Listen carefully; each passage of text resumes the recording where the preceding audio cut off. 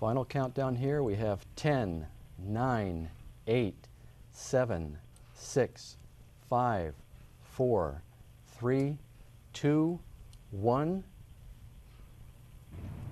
And there it is, mission start. We have liftoff of an ILS Proton rocket from the Baikonur Cosmodrome in Kazakhstan with the Anik G1 satellite on board.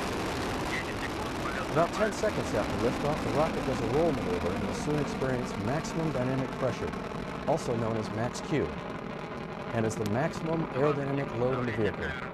For Proton, it corresponds to about Mach 1.6 and occurs at 1 minute, 2 seconds after liftoff.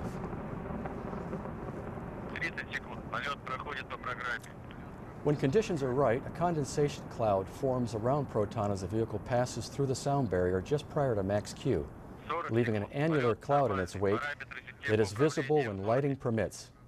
This is normal and is not smoke, but rather moisture from the atmosphere that condenses into tiny water droplets due to the aerodynamic shock wave created by proton.